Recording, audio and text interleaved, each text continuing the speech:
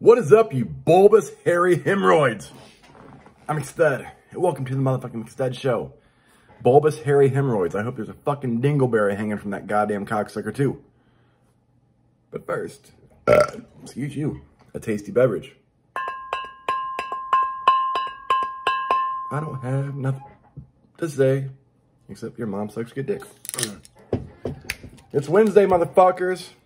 Cheers, bitches. If I don't spit over it, shh.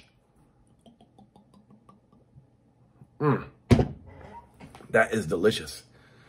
Anyways, it's Wednesday, motherfuckers. Hump day. Happy hump day. Go hump something. I don't give a fuck. Hump Henry. Hump your grandma.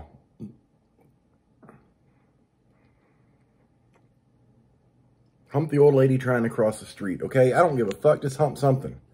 For the fuck fuck shit. Ass twat ballickers. The week is midway through, motherfuckers. And today is International Women's Day. Women's Day, Women's Day, Women's Day, International Women's Day. Um, this is pretty fucking awesome, really.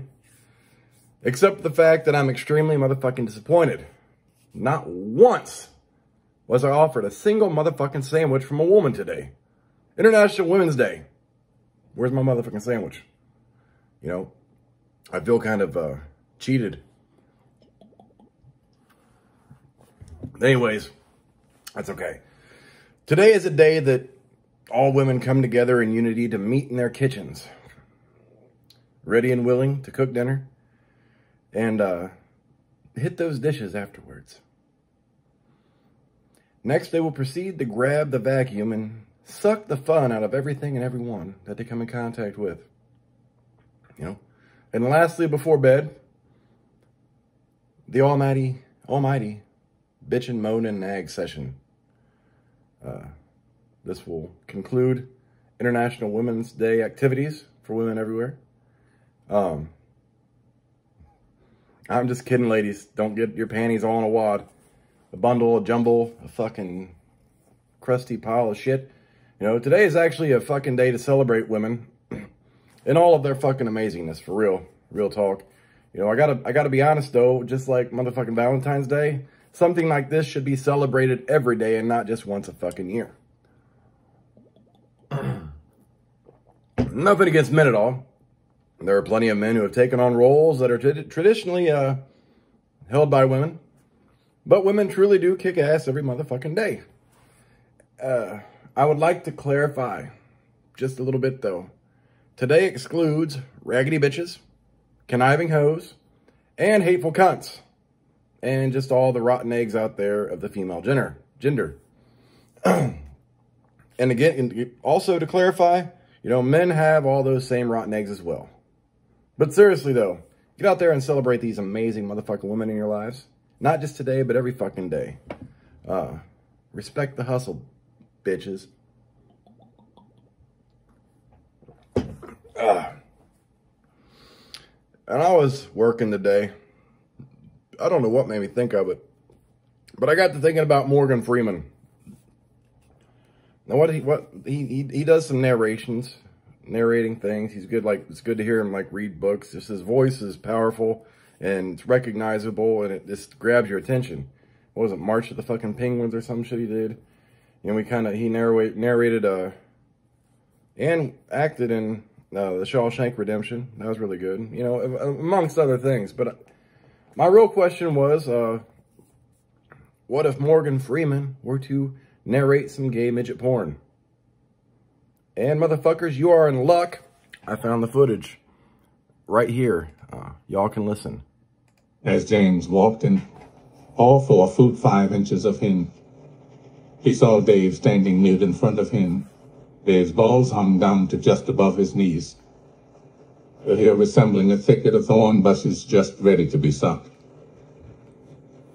It was at this point that James bent Dave over and began to pummel his booty hole in a motion that resembled a rabbit.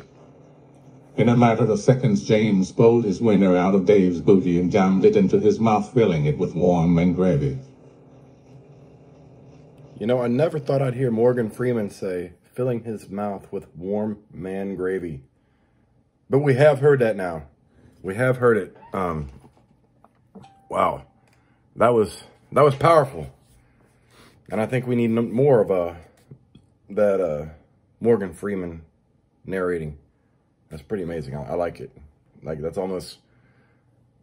I wouldn't watch the porn, but you could just put it on and listen to it just to hear him in his comical manner narrate the fucking of two fellows.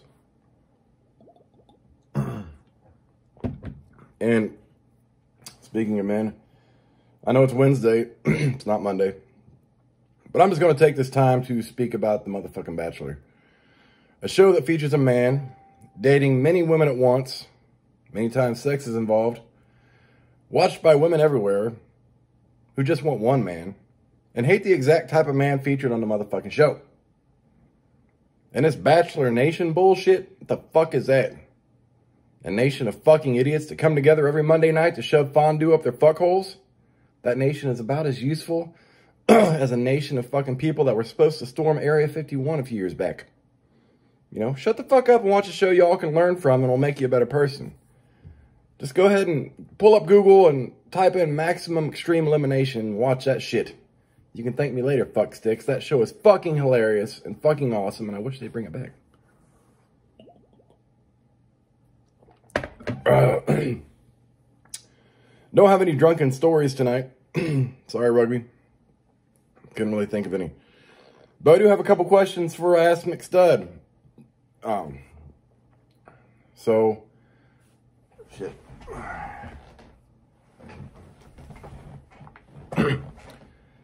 So, uh, this one is from Worried in Wyoming.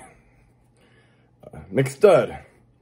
My wife is hanging out with my neighbor lately, who just happens to be a man. I think they may be fucking. What should I do? Well, Worried in Wyoming. That's pretty fucking simple. You go over there and barge right to that motherfucking door, butt ass naked. God damn this fucking group I'm in is annoying. Um, you march right in that motherfucking house, butt ass naked, and if they are fucking, you sit in a motherfucking corner like a cuck you are, and fucking sit and watch it. Till he cream pies that bitch, you can go over there and lick it out. You big fucking pussy. You should have fucking dealt with this already, worried in Wyoming. What the fuck is your problem? Grow a pair of fucking balls, approach the motherfuckers, and handle it like a motherfucking man. Stop being worried. See. Next, we have uh, Hank in Arizona. Hank says, My wife has this lump on her pussy lip that is the size of a golf ball. She always wants me to go down on her and suck it. But I think that's disgusting. Uh, how do I get her to get it removed?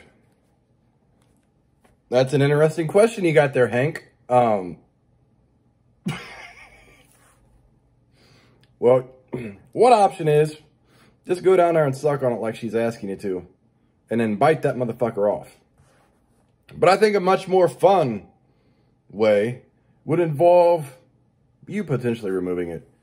Um, find you a, a nice nine iron. A nine iron should do the trick. Or a, a putting wedge or a sand wedge. Probably better. One of those two. Probably the sand wedge I'd go with. Um, don't tell her what you're doing. Just take her out back and have her uh, get you a little step stool so you're kind of up high. Have her put her legs up in the air. Like you got her up, you about to fucking put those legs down by her, her knees down by her fucking head and just lick the shit out of her pussy. And while she's in that position, you get on that fucking step stool, you take your fucking sand wedge, you fucking smack that motherfucking golf ball lump off her pussy. She will love you forever and that will solve your motherfucking problem. I hope that helped you guys. Um, yeah, I'm gonna get off here. I got a shower. I gotta eat. I got my video done a little early tonight, which is nice. Um, I made cheesy jambalaya last night with uh, cheddar smoked sausage, which is stellar too. I did try the four pepper smoked sausage the last time I made jambalaya. That was pretty fucking tasty as well. Wasn't as spicy as I thought it would be. It was actually spicier if you cut it up and like fried it up and made sandwiches with it than it was actually in the jambalaya. But it was still good. Had a good flavor. So if you guys want some good spicy smoked sausage sandwiches, get that four pepper smoked sausage. I recommend it. Um, anyways, motherfuckers, I'm gonna jump off here, get done what I need to get done. And remember, Dorothy in the streets, Blanche in the sheets, bitches. Anyways, I'm extending. I'll catch you bitches later. Deuces, motherfuckers. Oh my god, my balls!